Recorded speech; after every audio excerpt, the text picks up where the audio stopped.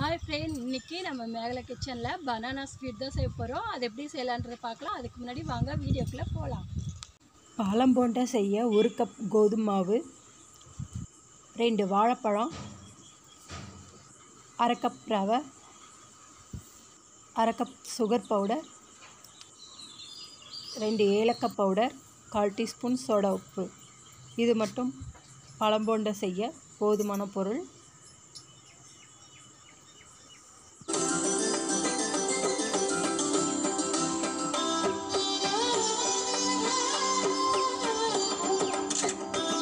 ஒரு பவுல் எடுத்துக்கோங்க. அதில் ரெண்டு வாழைப்பழம் கட் பண்ணி வச்சதை சேர்த்துக்கலாம் பவுலில்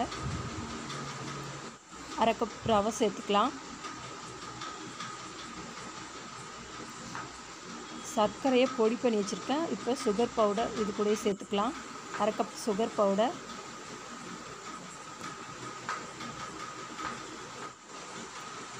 கால் டீஸ்பூன் சோடா உப்பு சேர்த்துக்கலாம். அப்போ தான் போண்டா நல்லா சாஃப்ட்னஸாக இருக்கும். ரெண்டு ஏலக்காய் பவுடர் அதையும் இது கூட சேர்த்துக்கலாம். லாஸ்ட்டாக ஒரு கப் கோதுமை கோதுமை மாவு சேர்த்துக்கலாம்.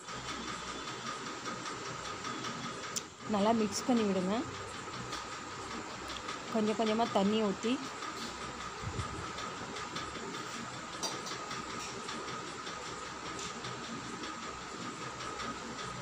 மாவை நல்லா மிக்ஸ் பண்ணி ரெடி பண்ணி எடுத்துக்கலாம்.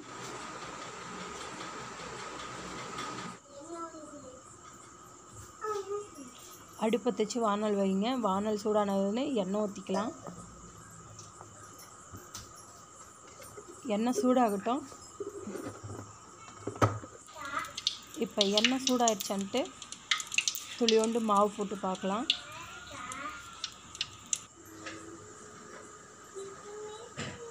பாருங்கள் எண்ணெய் ஓரளவுக்கு சூடாகிடுச்சு இதுக்கு மேலே நம்ம ஒவ்வொரு போண்டாவை போட்டு பொரித்து எடுத்துக்க வேண்டியதுதான். போண்டா போட்டு அடுப்பை சிம்மில் வைங்க. நல்லா வேக வச்சு வெந்ததுக்கப்புறம் செவந்து வந்ததுக்கப்புறம் எடுத்துக்க வேண்டியதுதான். பாருங்கள் நல்லா போண்டா வெந்து இந்த மாதிரி செவந்ததுக்கப்புறம் எடுத்துக்கலாம். எண்ணெய் வடிகட்டிட்டு இந்த எண்ணெய் வடிகட்டின போண்டாவை இப்போ வேறு ஒரு பாத்திரத்துக்கு மாற்றிக்கலாம்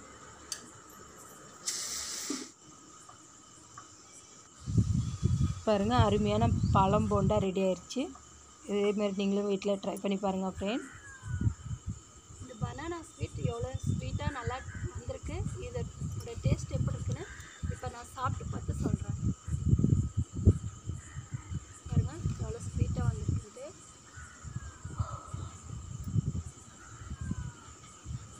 இதோட டேஸ்ட்டு நல்லா டேஸ்ட்டாக இருக்குது நம்ம இதில் பனானா கோதுமாவு சர்க்கரை ரவை எல்லாம் சேர்த்துருக்கனால நல்லா டேஸ்ட்டாக இருக்குது.